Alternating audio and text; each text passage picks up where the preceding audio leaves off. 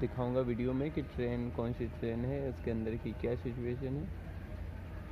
तो देख सकते हो इधर, अभी इधर मालगाड़ी अभी खड़ी हुई है, जो आप लोगों को दिखाई दे रहा होगा।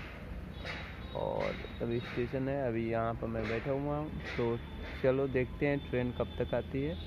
ट्रेन आएगी तो उसकी पूरी वीडियो मैं आपको दिखाऊँगा। अगर आप वीडियो पर नए हो तो चैनल को लाइक करो, सब्सक्राइब करो, शेयर करो। तो देखते हैं।